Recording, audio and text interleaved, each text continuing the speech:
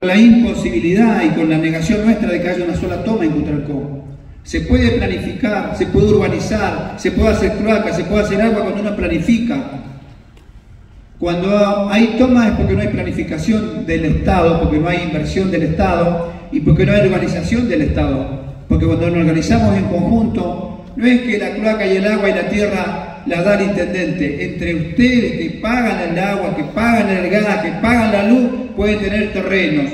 Entonces se llama organización social colectiva. Esto no es solamente que viene un iluminado a decir cómo hay que entregar tierra. Yo creo que hay que seguir en ese sentido. Así que vamos a seguir pavimentando en la zona nueva del barrio Progreso, Brentana, Unión, el barrio Sani, que también estamos, tenemos que hermosear esta zona donde van a, el año que viene, si Dios quiere, estar nuestros chicos estudiando acá en la escuela técnica.